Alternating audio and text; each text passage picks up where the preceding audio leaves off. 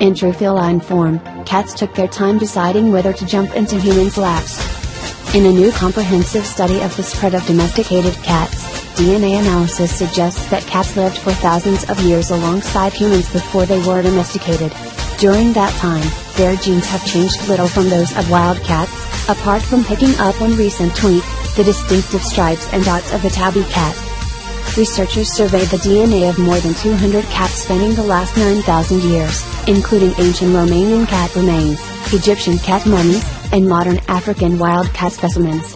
Two major cat lineages contributed to the domestic feline we know today, they report in a study published Monday in Nature Ecology and Evolution. Evolution.